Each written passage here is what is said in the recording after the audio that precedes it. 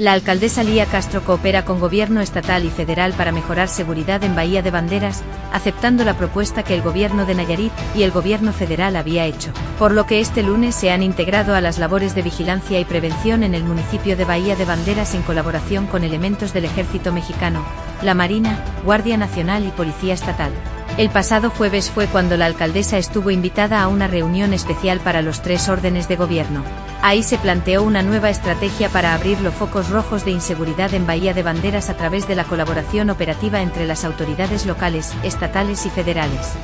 Cabe mencionar que la comisaria Karina Carrillo fue destituida, mientras que el secretario general del ayuntamiento, Abad Jiménez, no asistió a la reunión especial convocada. Queda además en entredicho la postura de los demás regidores, quienes tienen la responsabilidad de colaborar con la nueva estrategia, donde la alcaldesa ha ejercido sus funciones para ejecutar el cambio de mando municipal.